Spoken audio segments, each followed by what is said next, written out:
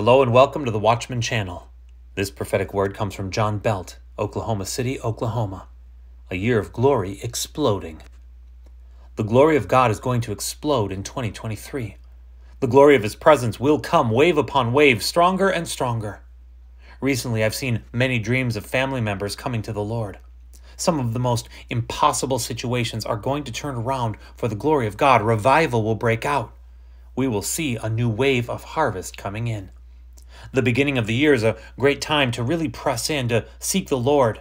Let's get into position and be ready for His outpouring of His Spirit. Things that were delayed on a global scale in revival are going to break out this year. May the Lord give you grace to seek His face because it's going to be a way better than good year. Be encouraged to engage in worship, in prayer, in the word and in fasting, as this will help you to break out into a prosperous place.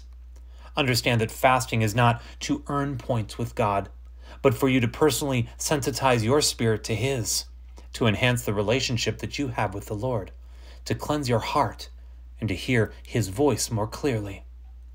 But you, when you fast, anoint your head, wash your face, so that you do not appear to be men to be fasting but to your Father who is in the secret place, and your Father who sees in secret will reward you openly.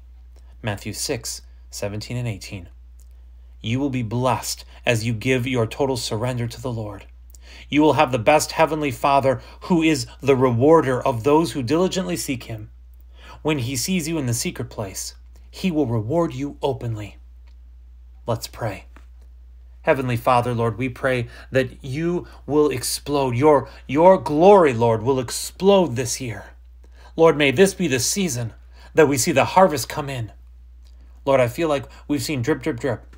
Here, there, this country, this meeting, this service, God, but we want to see it on a big scale. We want an outpouring of your Spirit across churches, Lord, across continents, Lord. Lord, may your glory explode this year. First in inside of our hearts, Father.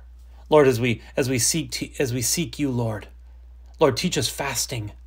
Teach us true worship in spirit and in truth. Lord, as we as we seek you in prayer, as we read your word, Father, as we engage with others. Lord, I pray.